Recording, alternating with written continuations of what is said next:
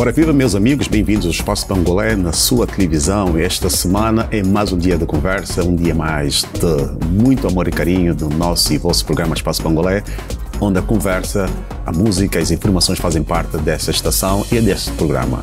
O meu convidado da semana é Sérgio Macuntima, ele que é o presidente da comunidade angolana de Montreal.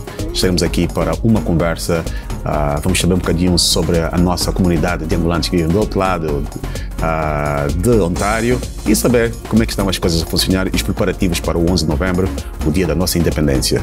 Essa festa vai ser realizada na Igreja Missão Santa Cruz, aqui em Montreal. A festa vai começar às 19 horas e teremos muita coisa lá, teremos muita dança, muita comida de Angola, aqueles todos aqueles que não que estão há muito tempo sem comer o funge, sem comer aquela cabidela, estão convidados a virem.